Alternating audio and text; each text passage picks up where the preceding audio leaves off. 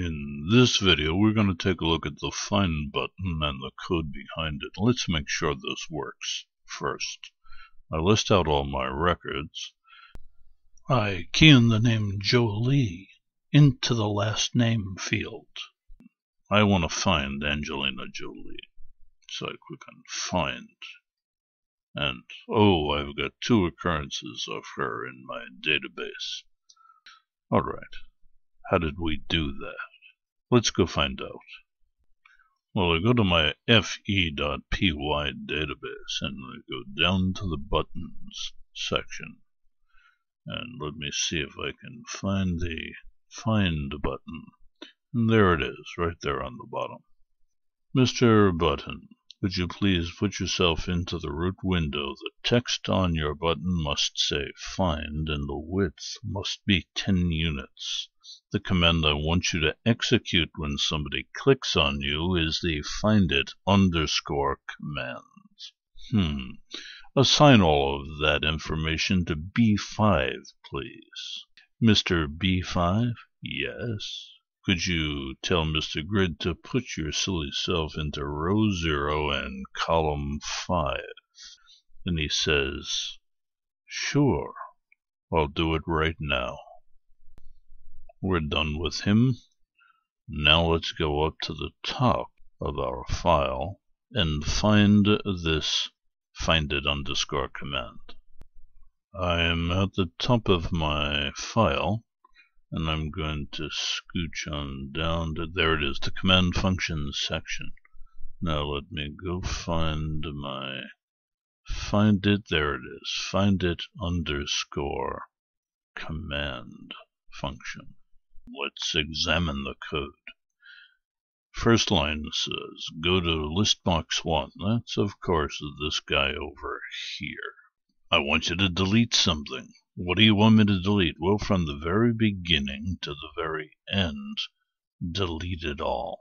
So all of this is going to go bye-bye. All right, that gets cleared off first. Now, notice I just keyed the name Jolie into the last name field.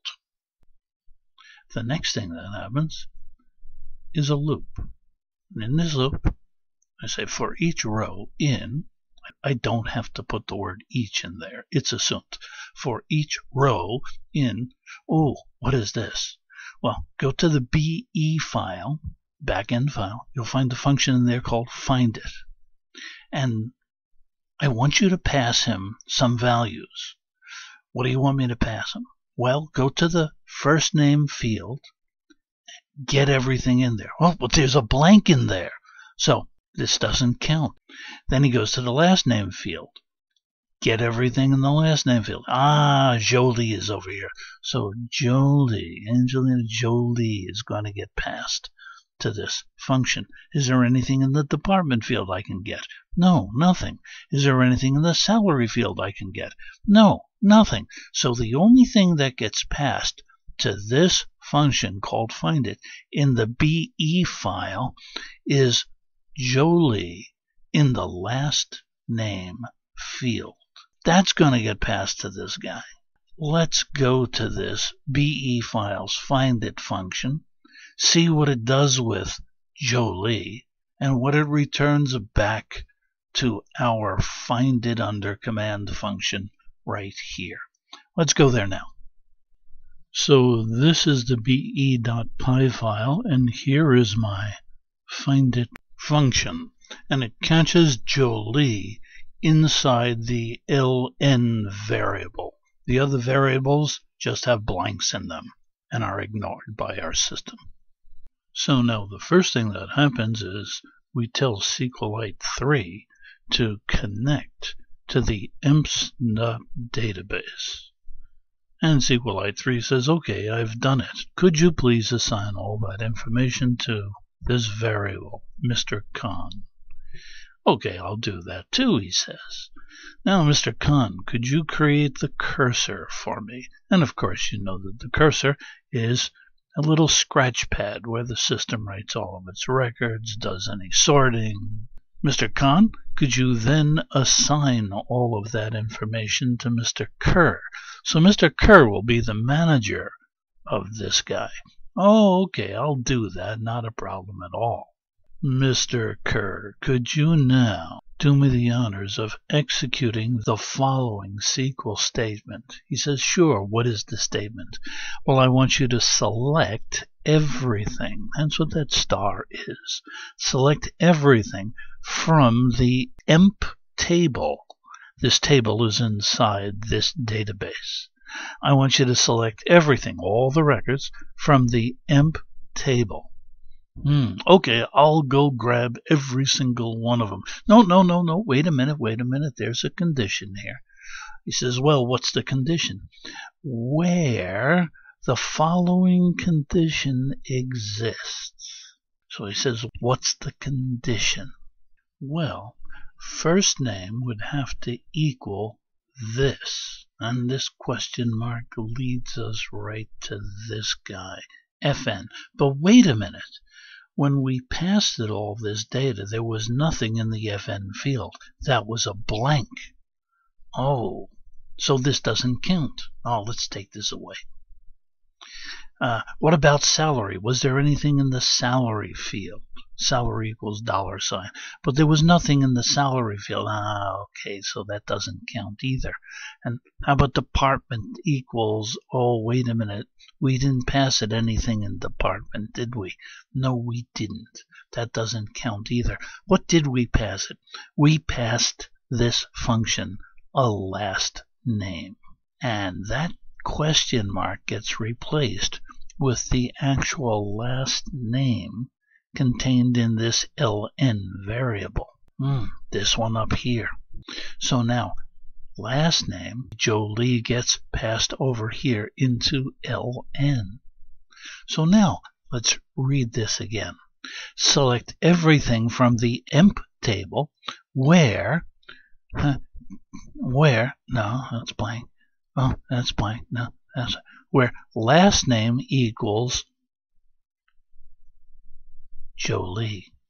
Ah, he says, okay, okay, I got you. So he goes through the entire table. He finds every occurrence where the last name is equal to Jolie,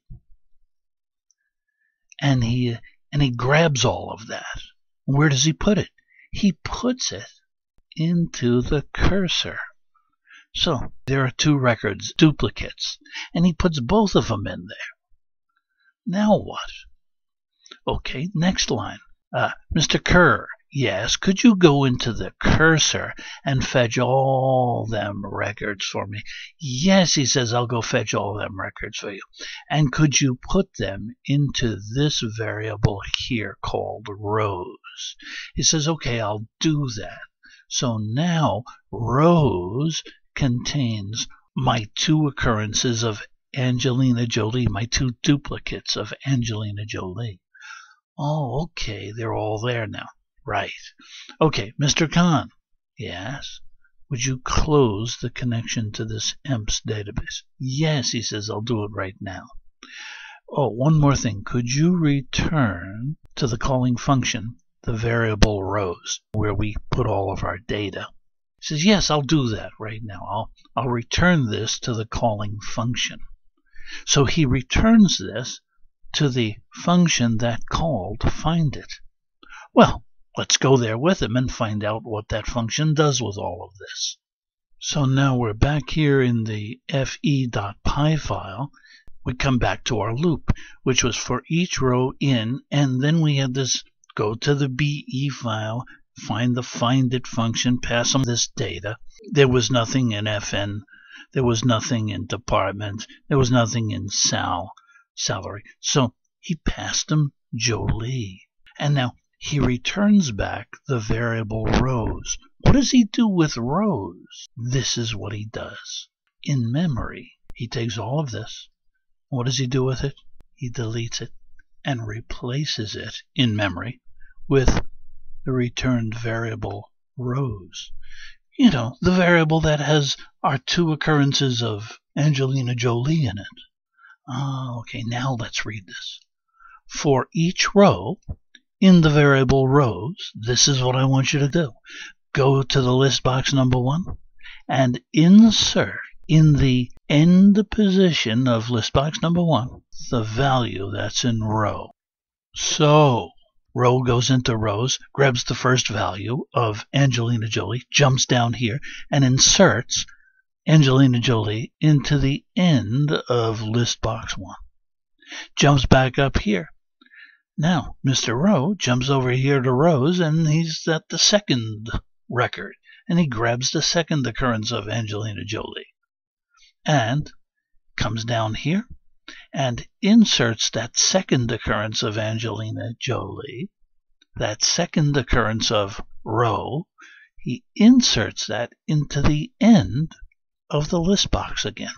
Jumps up here, up, oh, he's out of records now, and this function ends. Let's run our program now.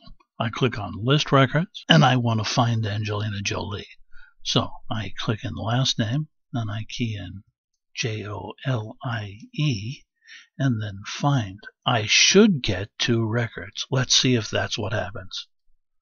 Oh, and there they are. Record number 39 and record number 56. Angelina Jolie. I have two duplicates. Wow. I got to get rid of one of them.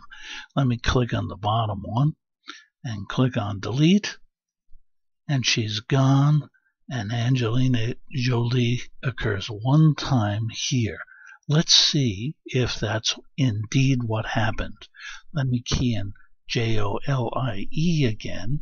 I'm going to click on find and I should get only one record back now. Let's find out if that's what happens. Let me click on it now and there we go. One occurrence of Angelina Jolie. This worked.